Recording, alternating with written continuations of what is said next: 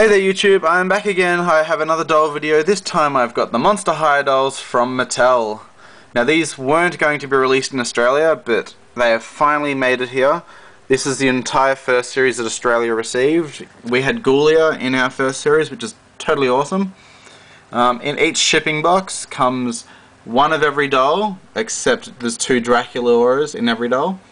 Um, the Deuce and Cleopatra set come separately and they are 60 bucks in Australia which sucks because that's so expensive for dolls. And the single dolls are 30 bucks each so that's kind of pricey as well.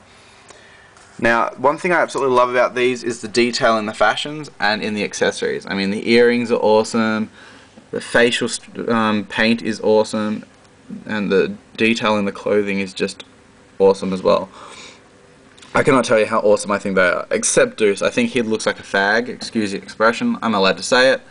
Um, and he is stupid. His heels are pointed. Like, you know, he can he can wear heels if he wanted to. I mean, he fits in. He fits into the um, Moxie Teenz heels, so you know you can make him dress up and drag if you want.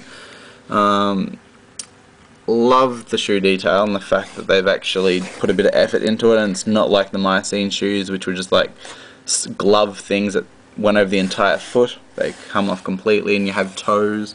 See your toes poking through there. Um, my favourite's Ghoulia, mainly because her piano belt and her cassette um, handbag. I think that's awesome. And the little clip on the handbag actually opens and closes, which I think is awesome. Um, I think her face is awesome, and I love her little glasses there. They make her look so cool. Um, next would be Frankie, because she's just totally awesome, and I love her face because she looks so cute. Now, the only thing that bugs me with these dolls is the quality in their joints. Now, I work in a toy store, as some of you know, and the legs do snap quite easily if you are rough with them or don't pose them correctly, which really, really sucks. Um, and also the hands, when you pull them off, they can be really, really hard to get back in or they just keep falling out and become really, really loose and floppy. One thing I like is the posability on them. As you can see here, Draculaura is doing a bit of a freaky pose, and um, Cleo's like, yeah, whatever. Um, in the TV or the cartoon um, that's online, I really, really hate how Mattel have given Lagoona such a crappy accent. Australians don't actually talk like that. Seriously, we don't.